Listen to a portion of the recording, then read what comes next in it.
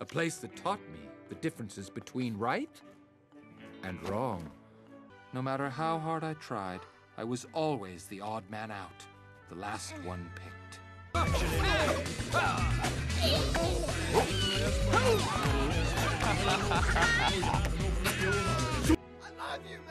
And I love you, random citizen. In case you haven't noticed, you've fallen right into my trap. Your weakness is copper? You're kidding, right? Full power. You did it, sir. I did it. He did it. I did it. He did it.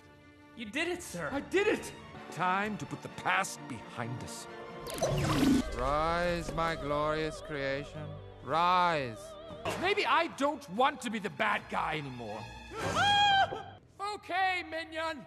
You were right. I was less right.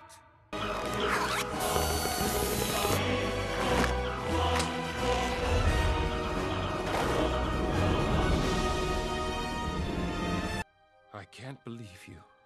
All your gifts, all your powers, and you you squander them for your own personal gain. Yes. Now it's time for some witty back and forth banter. You go first. It's the very same metal used to defeat Metro Man. Thank you. Tighten has freed us. Oh, I wouldn't say free.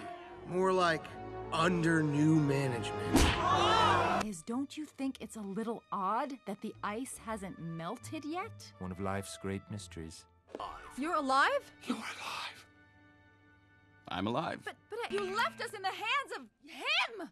No offense. No, I'm with you. There is no Easter Bunny, there is no Tooth Fairy, and there is no Queen of England.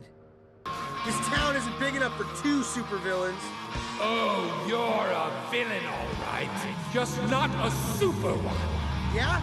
What's the difference? Presentation! Looks like there's only one loose end now.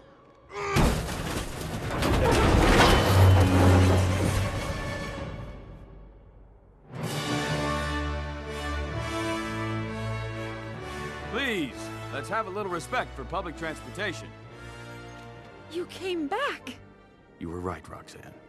I never should have left. Whoa, I I thought you were dead. My death was greatly exaggerated. Ah, this is the last time you make a fool out of me. I made you a hero. You did the fool thing all by yourself.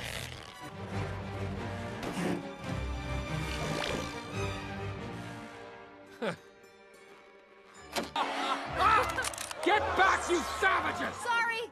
Sorry. He's just not used to positive feedback.